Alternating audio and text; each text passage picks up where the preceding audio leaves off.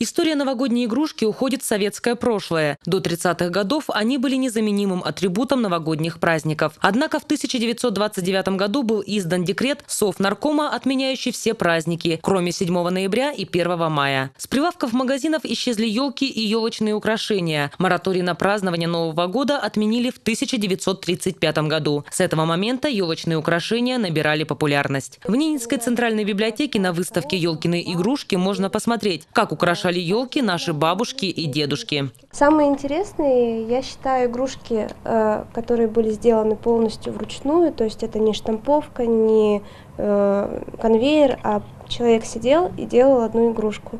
Это игрушки в основном до 60-х годов.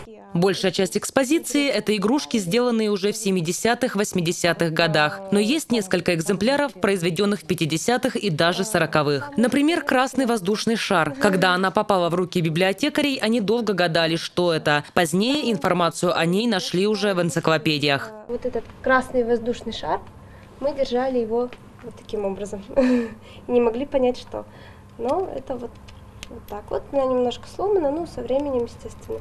Это игрушка 40-х, 50-х годов, ручная работа полностью. Собирали экспозицию новогодних игрушек более года. Какие-то экземпляры нашли сами сотрудники библиотеки, что-то принесли читатели. Во время проведения выставки и рассказов для школьников выяснилось, что во многих домах наринмарцев бережно хранятся старые елочные украшения. У меня была игрушка от прапрабабушки. Она мне была очень дорога. Ну, сначала переходила к, к моей прапра, прабабушке, потом к бабушке, потом маме. И она перешла ко мне. Она такая э, шишечка э, стеклянная.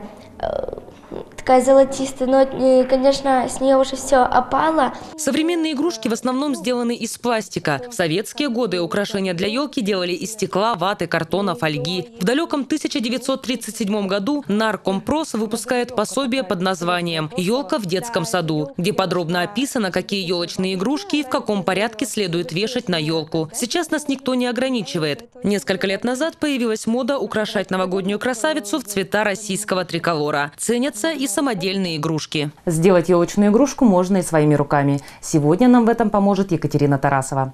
Екатерина, что мы сегодня будем делать? Так, мы будем делать мишку, э, который может быть не только сувениром, но и елочная игрушка, если подвесить к нему веревочку. Рекомендую делать игрушки елочные из фетра, потому что это и с детьми просто, и потому что фетр, он не осыпается. Ну вот у меня получилась такая замечательная игрушка, которую сделать довольно легко и быстро, и она обязательно станет хорошим украшением для вашей елки.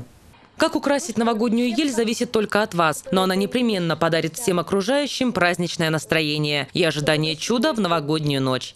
Алена Валей, Александр Дуркин, телеканал «Север».